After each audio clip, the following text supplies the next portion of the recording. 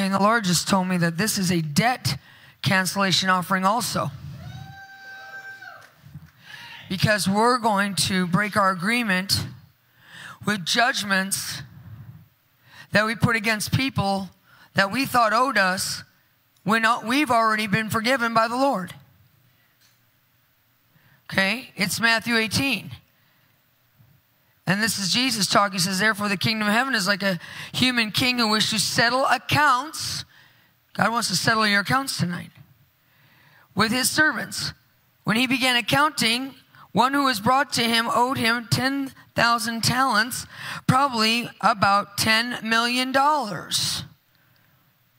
And because he could not pay his debt, the master ordered him to be sold with his wife and his children and everything that he possessed and payment be made. So the attendant fell on his knees, begging him, Have patience with me, and I'll pay everything. And his master's heart was moved with compassion, and he released him and forgave him, canceling the debt. Jesus died to cancel your debt of sin and your which includes your financial debt, the debt of sickness, the debt of the curse, the debt of death, everything. All debts canceled through Christ. And even though you could owe $10 million, Jesus forgives your debts.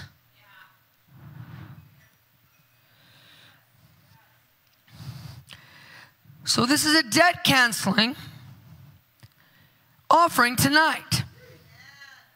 Then it says, But that same attendant, as he went out and found one of his fellow attendants who owed him a hundred denarii, about 20 bucks, caught him by the throat and said, Pay what you owe. So his fellow attendant fell down and begged him earnestly, like he'd begged the master, Give me time and I will pay you all. But he was unwilling. And he went out and had him put in prison till he should pay the debt. Jesus has forgiven us of all of our sin, but yet sometimes we are unwilling to release the judgments of unforgiveness and offense and bitterness that we have against other people, even though Jesus has forgiven us of the same or more.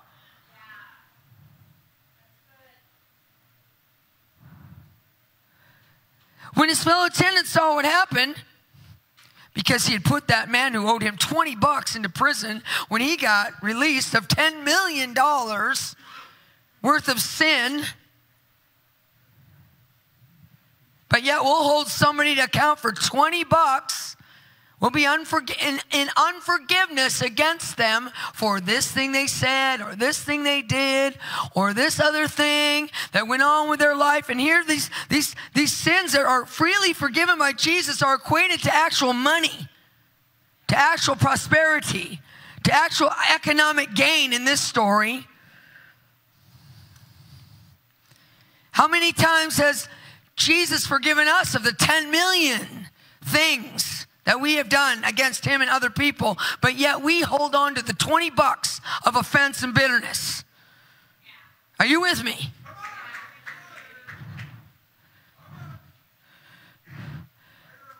When his fellow attendants saw what had happened, they were greatly distressed and they went and told everything that had taken place to the master.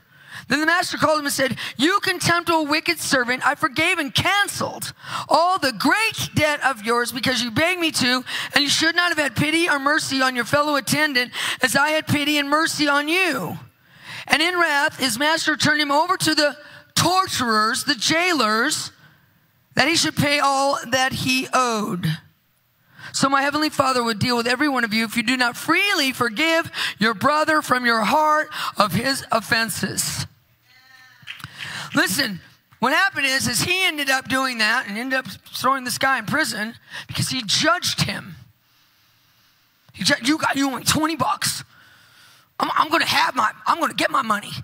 But yet he forgot that he had been freely forgiven all this other uh, $10 million worth of money. And he got thrown, it says, into the prison, into the hands of the torturers. We're not torturers. They represent here demonic spirits okay, that begin to torture us when we stay in a place of unforgiveness towards someone, even though Jesus has forgiven us much. These judgments cause us to be legally imprisoned and sent into the hands of torturers, demonic powers. What you don't realize is when you do this, you, when you hold on to the unforgiveness of the judgment of unforgiveness, you are put into the hands of demonic spirits. You are put in prison. You are imprisoned in sickness. You're imprisoned in poverty. You're imprisoned in debt. You are imprisoned in all these ways. And the torturers, the demonic spirits have authority to then attack you, put sickness on you, break up your marriage, cause you to have complete unrest, to lose your peace, and everything else. And guess what? That guy that owed 10 million bucks and got forgiven he not only ended up in prison, but what he didn't realize is what, and what everybody doesn't realize is he also put the guy that owed him 20 bucks into prison at the hands of the torturers. You don't realize that when you're holding on to judgments, bad false judgments against people, you put them in prison and you give the legal right for demonic torturers to torture them. You become responsible for that person being demonically assaulted and infested and, and attacked. You become res- responsible for them being put in the hands of the torturers. And then you end up in the hands of the torturers too. So when you release forgiveness tonight, and you remove the judgments that you've been putting against people. They're this, they're that, they did this, they did that, that person, blah, blah, that person, blah, blah. When you do that and you break your agreement with that tonight, you're going to escape the prison escape the torturers, and release them from prison and the demonic torment that they're under. And this is going to cancel your debt even financially. Because Jesus tied this parable of forgiving our brother from our heart of their offenses with the fact that our debts, our money, monetary debts, would be canceled. Get your seed ready. Get your seed ready right now. Can we have some keyboards or something? Get your seed ready right now.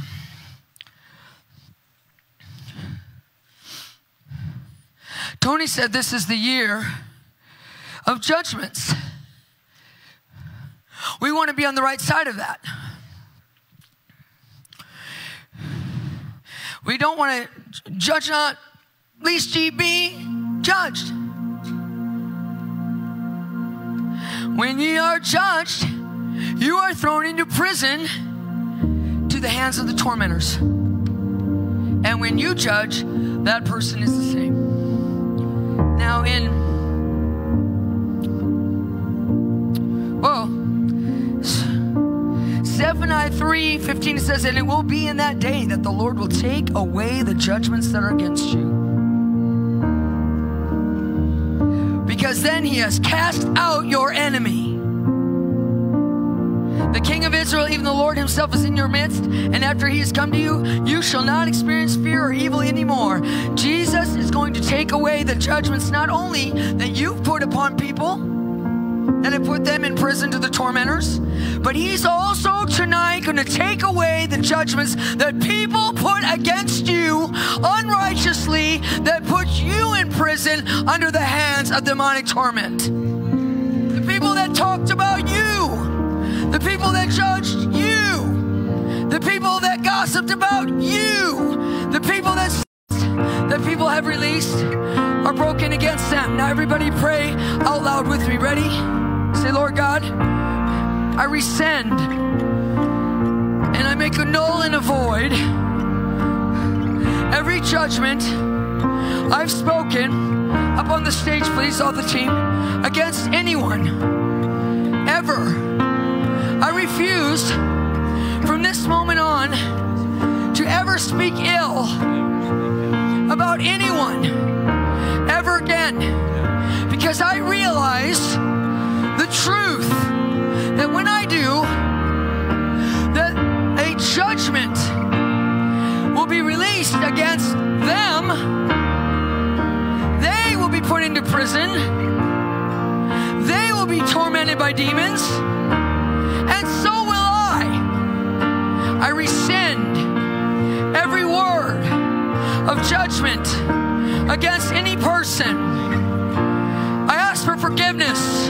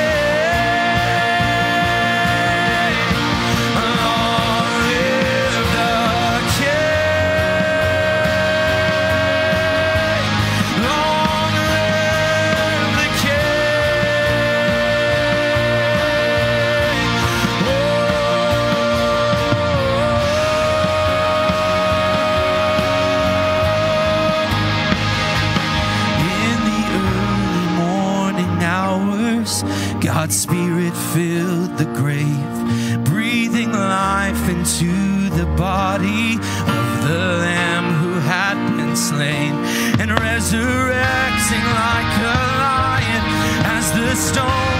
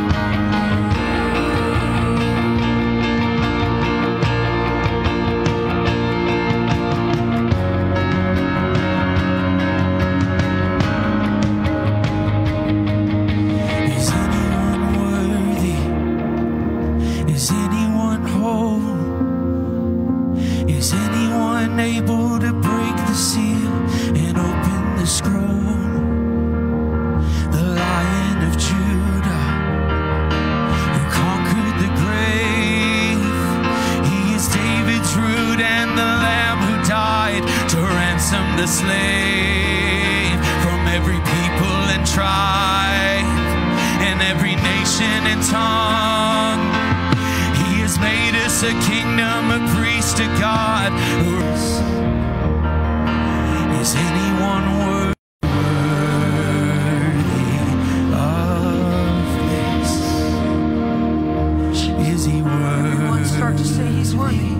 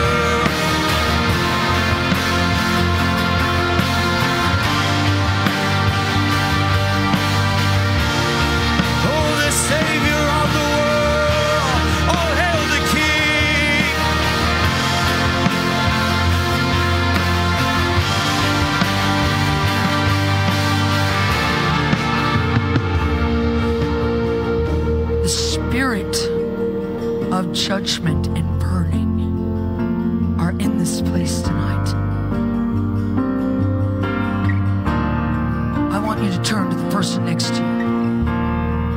And I want you to begin to decree what we've all been asking God to do is to judge anything in our soul with the spirit of judgment and burning so that nothing, nothing, nothing in us, nothing in us will stop us from acceleration, from increase, from revival, from restitution,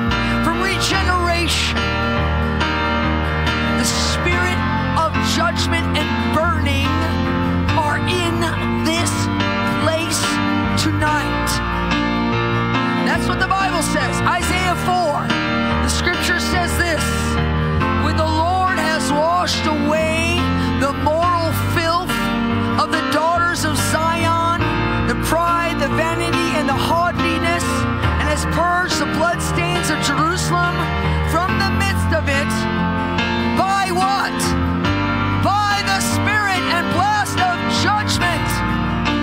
The spirit and blast of burning and sifting. Then the Lord will create over the entire side of Mount Zion and her assemblies a cloud by day, smoke, and the brightness of a flaming fire by night.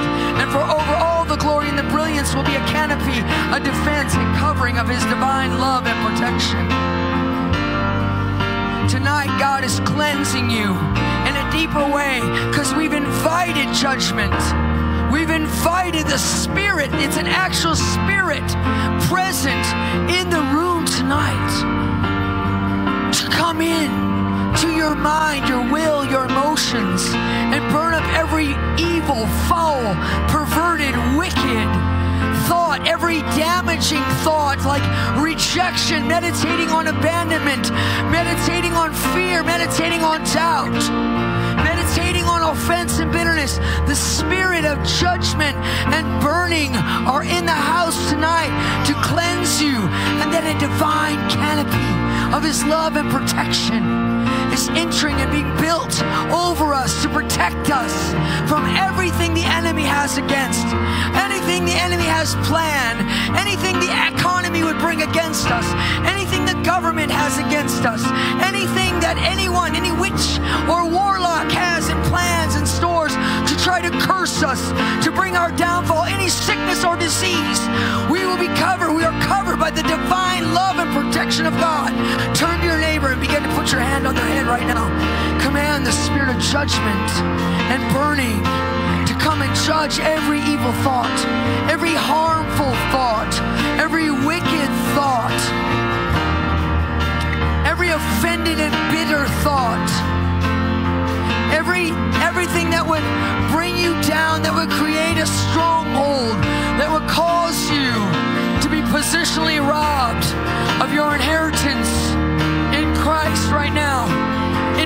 it. Open your heart for judgment and burning.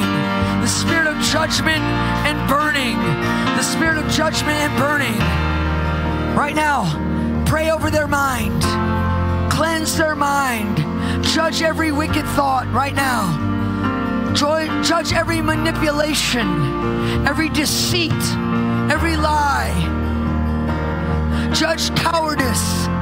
Judge rebellion judge pride, judge everything inside of them with a spirit of judgment and burning. Burn up everything that is not that is chaff. Burn up the chaff with unquenchable fire. Right now in the name of Jesus. Right now in the name of Jesus. Right now in the name of Jesus. Right now. Right now in the name of Jesus. Right now. Right now in the name of Jesus. Right now. Fire no Act as a judge on their behalf. Act as a judge on their behalf. Act as a judge on their behalf. Act as a judge on their behalf. Righteous judgments against every evil, every perverseness, every bent, every twist. Right now. Right now.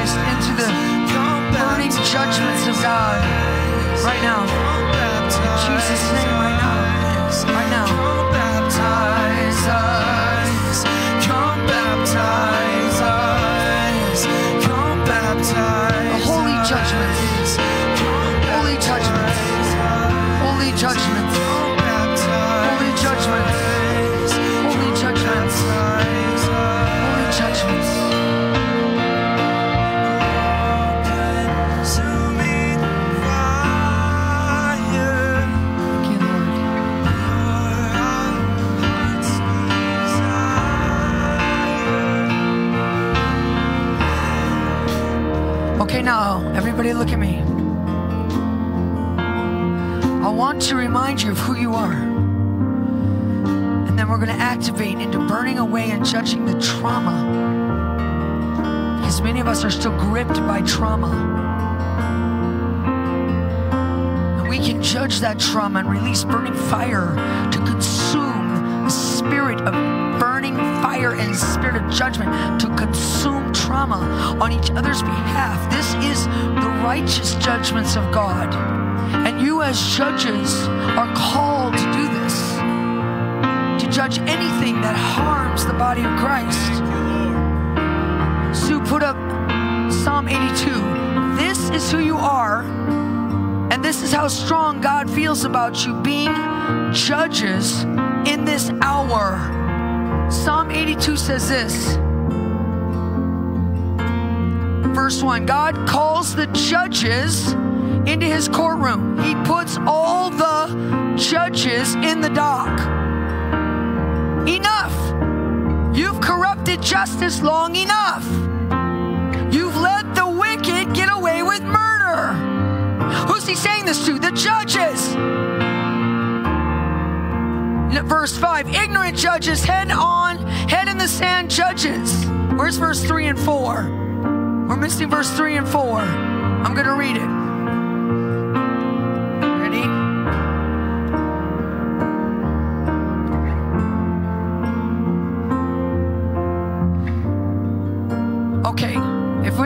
That, we can, Sue. But if not, I'm going to read it. Everybody can turn to it on their phone if they want. In the message translation, it says this God calls the judges into his courtroom, he puts all the judges in the dock. Enough. You have corrupted justice long enough. You've let the wicked get away with murder. Now, here's the next verse. Ready? Verse 3 it says this You're here to defend the defenseless. Job, you are here to make sure the underdogs get a fair break. He's saying this to the judges. Your job is to stand up for the powerless and prosecute by judgments all who exploit the powerless. And it says, ignorant judges, head in the sand judges, you haven't a clue as what's going on. And now everything is falling apart in the world. Everything. We are called to be judges. And we cannot forget that. Now, there's something missing, so I'm going to go and look at it. Because you need to hear this. Because this is God speaking to you. If you doubted you were a judge, this is God speaking to you. He says this.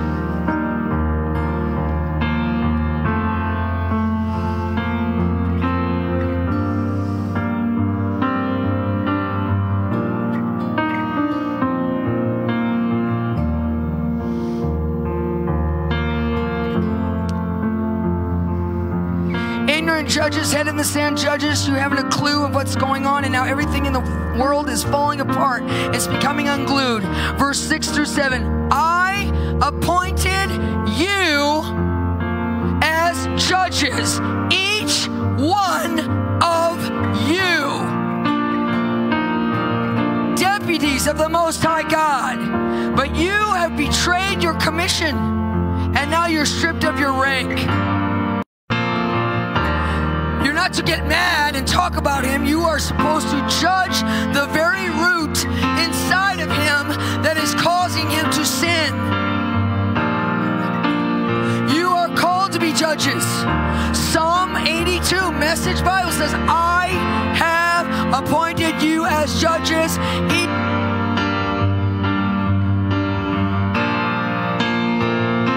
You have not made sure that justice was carried out. We must take our place, robed like Job with robes of righteousness. In this hour is more crucial than ever. Now, God told me that many people in here have gone through cycles of trauma. One trauma after the other trauma after the other. Who am I talking to? Wave. Wave your hands. Do You know that Job, who was a judge, went through cycles of trauma. The enemy will actually make one storm after the other storm, after the other storm, after the other storm come upon you just to get you wounded in your soul. So then he can have something in you that's in common with him and he can have power over you. That's what he did to Job. First, he took out all his, his servants and all of his herds and his flocks. He stole all his money, all his prosperity. He took everything from him. Then he killed. Then the devil stirred up. He created a whirlwind, another actual physical storm. And he took out the house where all Job's children were and killed them all. And then, if that wasn't enough storms and enough trauma, then the enemy created a trauma of sickness on Job's physical body boils from the top of his head to the soles of his feet. And those traumas wounded Job. 23 times he says in the book of Job, My soul is vexed, my soul is mourning, my soul is poured out, my soul is bitter. Many of you have been under a cycle of demonic assault that has been created traumatized so that your soul would be vexed, your soul would be bitter, your soul would be mourning, and your soul would be poured out. Because when your soul is wounded by trauma, the cycle of trauma that the enemy puts you under, then he's got you right where he wants you. Then he has a landing strip to make you sick, to make you broke, because you will prosper and be in health even as your soul prospers. I want you to stand up and I want you to talk to the person next to you and find out what cycle of trauma you've been through. And then we're going to judge that demonic stratagem to do one attack after the other attack after the other attack after the other attack. And we're going to put a stop to it tonight. And then I want you to judge the altar of trauma that person's soul and command them to be healed by the power of the Holy Spirit. Now stand up.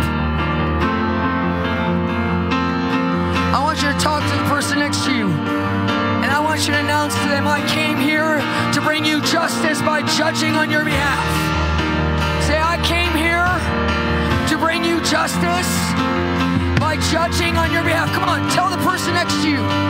Say, I came here as a judge judge and bring justice on your behalf. Say, I came here as a judge to bring you justice, to bring you justice.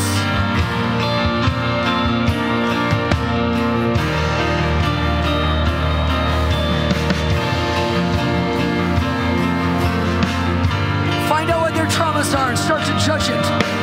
Oh God, we judge that cycle of trauma right now. Judge that cycle of trauma that all these people have been through right now. In the name of Jesus, right now, I judge that demonic stratagem that's been released against these people.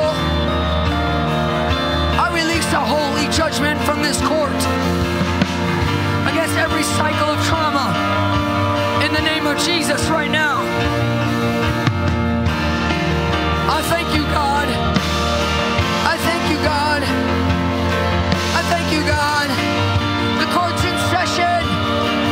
Judges have taken their seat.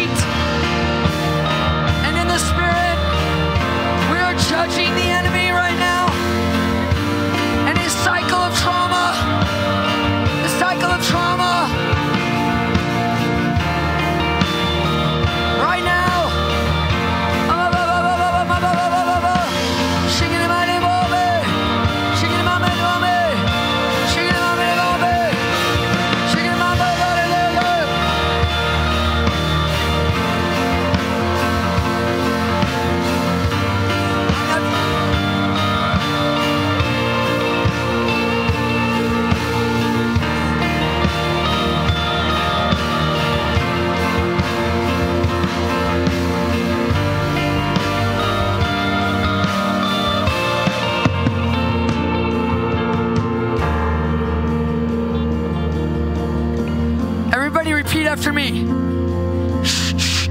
Can I have more monitor and have more mic? I can't hear monitor.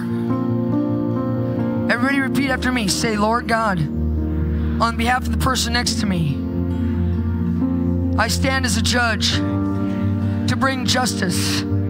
I've been appointed by God as a judge to bring justice and righteousness into the earth. And right now, that includes the person I'm praying for. I speak holy judgments as a judge from this court against every demonic strategy, every witchcraft strategy, every sorcerer's strategy, every giant strategy, every leviathan strategy, every python strategy, every legion strategy, every infirm spirit strategy, every cancerous strategy, every sickness strategy, against every poverty spirit, against every familiar spirit, against every demonic stratagem. I release as a judge a legal decree, a restraining order against the cycle of trauma that has happened to the person I'm praying for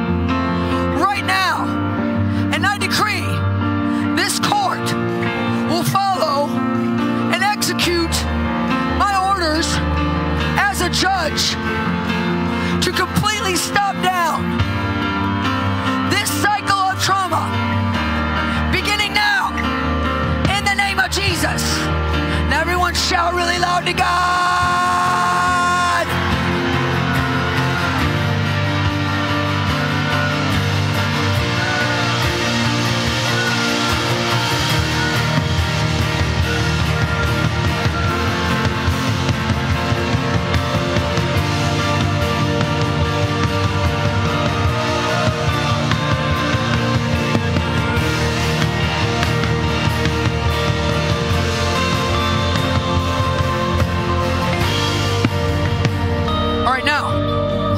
On each other.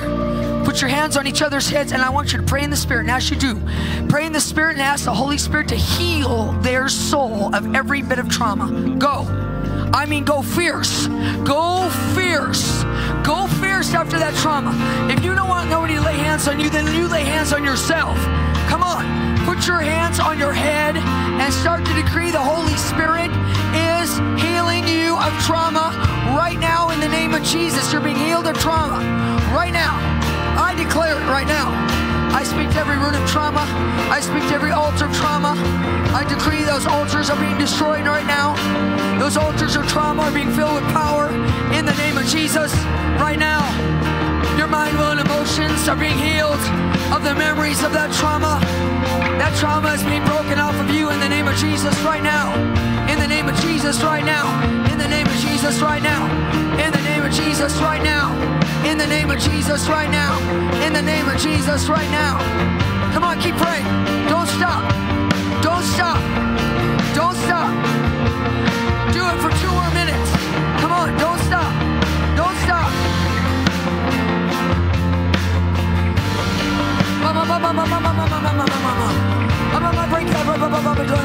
Dwelling among the tombs no more.